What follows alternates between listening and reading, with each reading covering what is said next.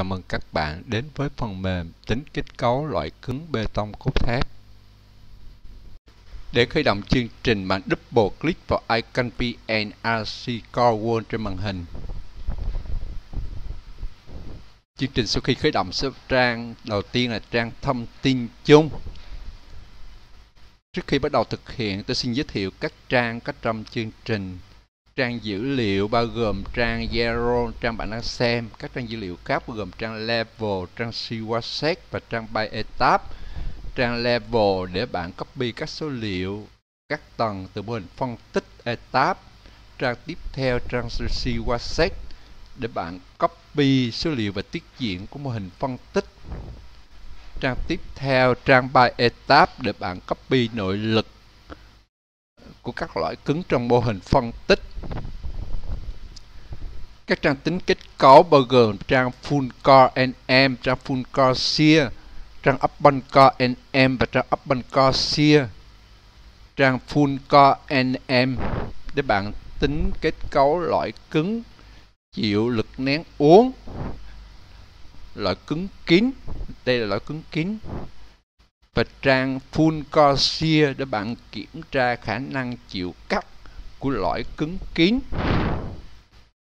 Trang Open Core NM để bạn tính khả năng chịu nén uốn của lõi cứng hở. Lõi cứng hở là lõi cứng có cửa như hình vẽ. Tiếp theo, trang Open Corsair để bạn kiểm tra khả năng chịu cắt của lõi cứng hở. Trang tiếp theo, trang Report để bạn ghi cách tính toán, tóm tắt cái này chịu lực. Các trang khác bao gồm trang table và trang about. Trang table chứa các bản tra về vật liệu được trích xuất từ tiêu chuẩn Việt Nam hiện hành và trang sau cùng trang about chứa các tài liệu tham khảo và các phiên bản của phần mềm. Thực hiện tính toán. Trước khi bạn tính toán, bạn nên xây bản tính theo tên khác và bản tính mới sẽ tiếp tục làm việc. Bình thường. Trước khi tính bạn sẽ điền các thông tin chung cho phù hợp với dự án của bạn. Ví dụ ở đây đặt tên dự án là dự án. Bạn chủ đầu tư, ban quản lý dự án. Hạng mục chung cư. Thiết kế bằng đặt tên bạn, kiểm tra bằng tên trưởng phòng, mã công việc và số hiệu chỉnh bạn đặt theo quy định chung cơ quan của bạn. Ngày thiết kế bạn nên đặt vào ngày bạn làm, ví dụ như ngày hôm nay.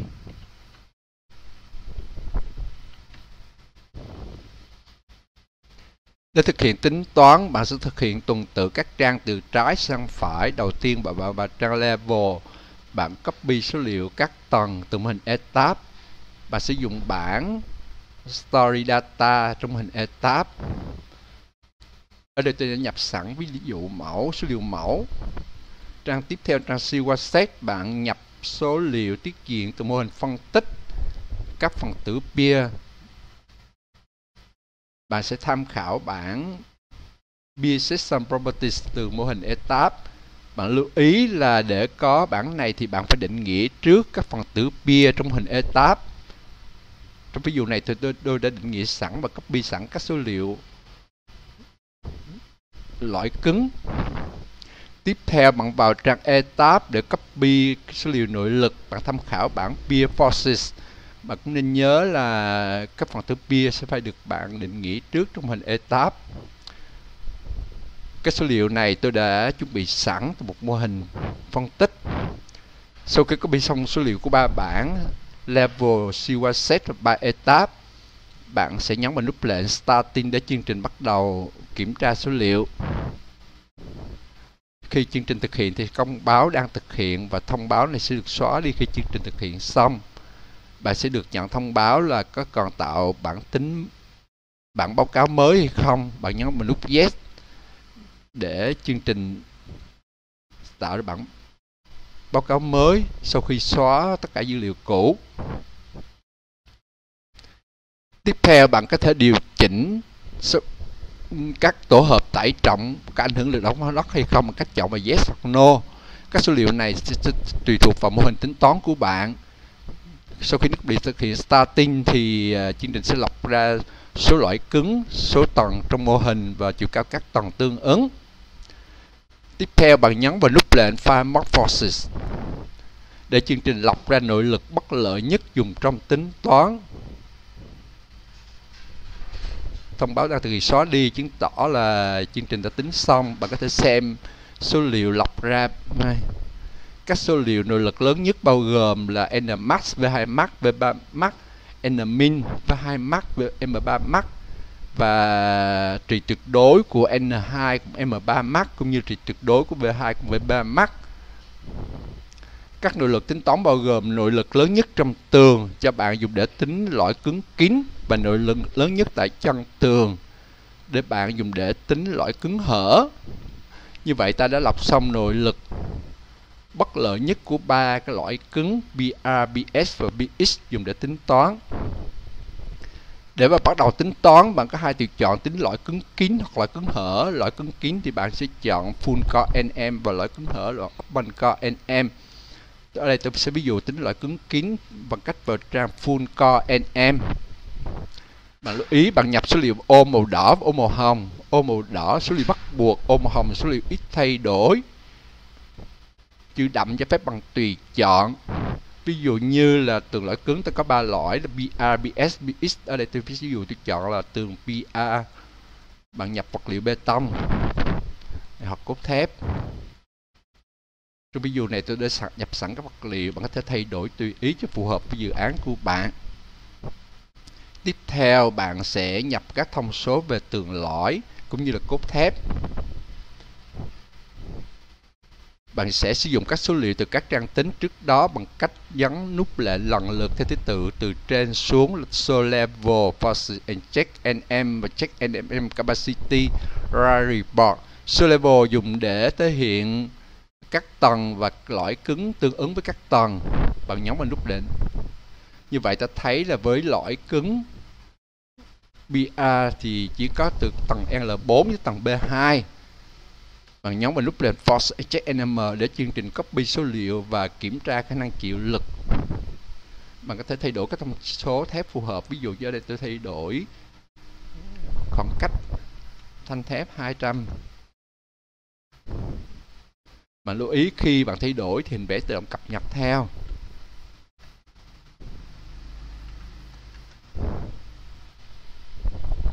Tiếp theo bạn có thể chọn số tầng tính toán tối đa số tầng tính toán là 6 tầng bạn lưu ý rằng trong thực tế thiết kế thì bạn không nên thiết kế cùng một loại tiết diện cho 5 tầng khác nhau. Như vậy, điều này tôi chọn tối đa 6 tầng là phù hợp. Bạn có thể chọn các tầng thiết kế, ví dụ chọn L5 ta sẽ thấy thông báo là tầng L5 không có loại cứng, đúng như là số liệu chúng ta đã copy vào. Như vậy ta chỉ có thể chọn tầng L4 tiếp theo chọn tầng B2 tầng thấp nhất sau khi chọn tầng, ta sẽ nhấn vào nút lệnh Force and nm M để chương trình copy nội lực từ trang trước đó và kiểm tra khả năng chịu nén uống. Chương trình sẽ có thông báo đang thực hiện. Thông báo xóa đi chứng tỏ chương trình thực hiện xong. Bạn xem xét kết quả gì trên thông báo của chương trình. Ta thấy là từ tầng L1 tới tầng L0 là lợi cứng, không đảm bảo khả năng chịu lực. Ta cần phải phải thay đổi. Ở đây ta có hai tùy chọn ta sẽ sử dụng tiết diện này để tính cho tầng từ L4 tới L2 và sẽ chọn tiết diện khác cho tầng L1 tới L, tới B1 ta có thể tính lại một cách chọn từ L4 tới L2 L nhấn vào nút lệnh trở lại như vậy là bản tính chỉ tính từ tầng L4 L2 và với tiết diện này thì lõi cứng đảm bảo khả năng chịu lực. Ta có thể nhấn vào nút Write to Report để ghi vào báo cáo. Bạn có thể lưu trang này bằng cách nhấn vào nút lệnh bấm chuột phải và nhấn vào nút Move Copy. Nó sẽ tạo ra bản sao và tính toán. Bạn lưu ý là bản sao này thì, thì chương trình sẽ không hoạt động được tiếp theo bạn sẽ tính từ từ, từ tầng L 1 tới L tới B2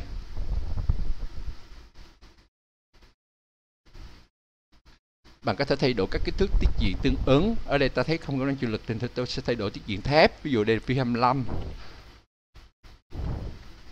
và lõi cứng với tiết diện là 120 với khoảng cách thép là 120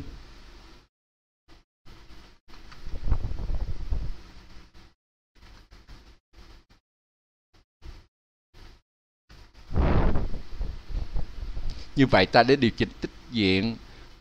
Ở ví dụ này thì tôi chỉ điều chỉnh đường kính thép và khoảng cách thép. Sau đó bạn nhấn lại và nút lệnh Force Eject NM để chương trình copy số liệu các tầng tương ứng và tính toán lại.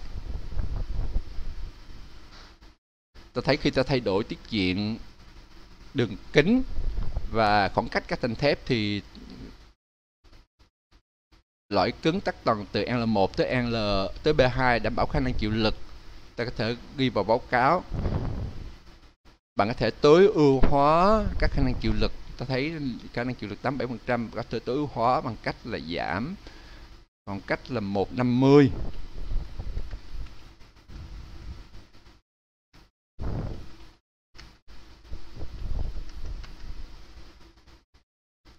nhấn vào nút lệ mà tính lại. Ở đây chỉ cần nhấn vào nút check nm capacity. Để chương trình không cần copy số liệu nội lực mà chỉ tính lại thấy trong trường hợp này vẫn không đủ.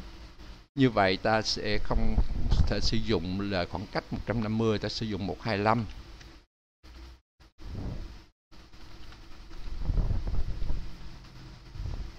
nhấn vào nút check nm capacity để tính lại. Ta thấy trong trường hợp ta thay đổi khoảng cách thì loại cứng các tầng từ L1, L2 đảm bảo khả năng chịu lực. Ta có thể ghi vào báo cáo bằng nhấn bằng cách nhấn vào nút Write to Report bạn có thể xem xét kết quả phù hợp bằng cách xem vào biểu đồ NM ta thấy các nội lực tính toán nằm hoàn toàn trong miền của đường cong NM cho cả hai phương MX và MY bạn cũng lưu ý các trường hợp tính toán cho khả năng chịu nén uống bao gồm 4 trường hợp N max, M2 max, M3 max và trị tuyệt đối của tổng N2 N3 max. Như vậy ta, ta đã kiểm tra khả năng chịu nén uống của loại cứng kín bê tông cốt thép. Tiếp theo bạn vào trang Full Core Shear để kiểm tra khả năng và tính toán chịu cắt của loại cứng kín. Tương tự bạn nhập số liệu ô màu đỏ và ô màu hồng, bạn nhập số liệu tuần tự từ trên xuống. Trong trang này thì đã, đã, đã copy sẵn số liệu từ trang full core nm trước đó. Bạn có thể thay đổi cho phù hợp. Tương tự bạn chọn các tầng tính ở đây tôi chọn các tầng khác nhau. Đây là các thanh thép mặc định bạn có thể điều chỉnh cho phù hợp với từng vị trí các tầng cho phù hợp. Bạn bắt đầu tính toán bằng con ánh nhấn vào nút Shear Design, chương trình sẽ copy nội lực bất lợi và kiểm tra khả năng chịu lực. Thông báo đang thực hiện đã được xóa đi chứng tỏ là chương trình đã tính toán xong, xem xét kết quả một cách vừa thông báo thông báo. Như vậy ta thấy là riêng toàn L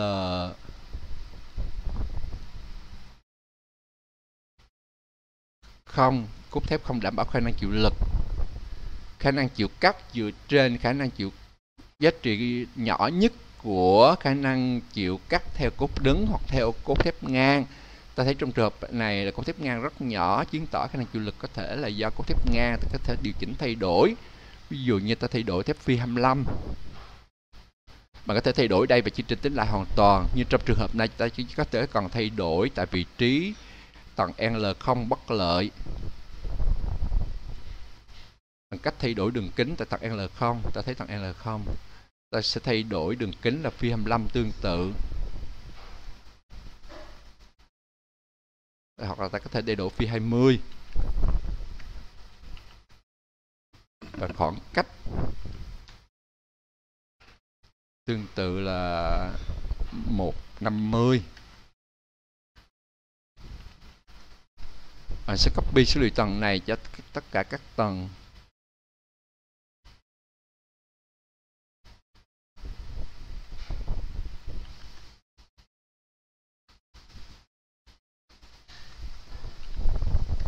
như vậy bạn sẽ cách bi số liệu này tương ứng với các tầng.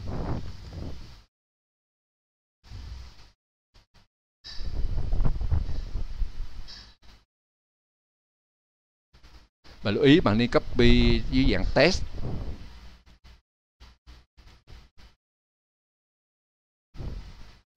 Như vậy là với tầng L0 ta đã đi chỉnh cốt thép. Sau đó bạn nhấn vào nút lệnh. Share Redesign để chương trình tính lại mà không cần phải copy số liệu nội lực. Xem xét kết quả tính toán, ta thấy khi ta đã đổi cốt thép cho tầng L0 bằng cách thay đổi đường kính và khoảng cách, ta thấy là lúc này tầng L0 đã đảm bảo khả năng chịu lực. Để tối ưu hóa, bạn có thể giảm đường kính cốt thép ngang hoặc là tăng khoảng cách giữa các canh thuốc thép ngang cho phù hợp. Như vậy là ta đã tính toán xong lõi cứng kín chịu cắt. Tiếp theo bạn vào trang full core nm và thực hiện tương tự. Full core nm uh, ờ, open core nm là tính khả năng chịu nén uốn của lõi cứng hở là cứng hở lõi cứng có cửa như hình vẽ bạn sẽ cũng nhập số liệu tương tự như là tính cho lõi cứng kín bằng cách nhập số liệu tuần tự ô màu đỏ ô màu hồng tuần tự từ trên xuống. Cũng nhấn vào nút nút lệnh như tương tự. Bạn có thể kiểm tra lực cắt của lõi cứng hở bằng cách vào trang Open Core Shear và thực hiện tuần tự tương tự như tính cho lõi cứng kín. Bạn có thể thay đổi kết quả, thậm chí bạn có thể thay đổi nội lực như là thực hiện tính tay trong trường hợp số liệu nội lực bạn không thể có mô hình hoặc là bạn từ, từ dùng số liệu nội lực từ nguồn tính toán nào khác mà có thể nhập trực tiếp vào đây. Và nhấn vào là nút lệnh để tính toán.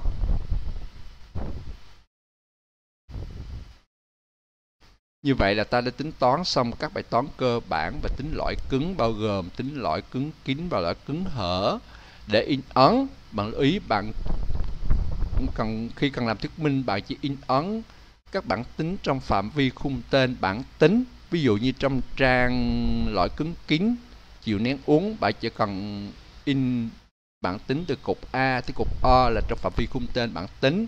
Phần bên ngoài phạm vi khung tên, bản tính là các ghi chú, hướng dẫn sử dụng các thông số về cấu tạo liên quan, cũng như là các giá trị tính toán trung gian mà không nhất thiết bạn phải in ra.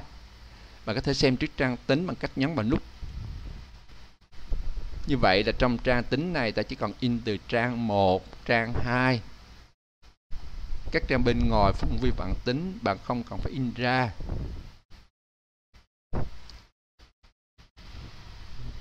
Bạn có thể bấm vào nút save để lưu lại tên dự án cho thằng là thực hiện tiếp theo. Như vậy là ta đã tính toán xong các bài toán liên quan đến tính lõi cứng, bao gồm lõi cứng kín và lõi cứng hở, bê tông cốt thép. Thật dễ dàng và nhanh chóng phải không các bạn. Chúc các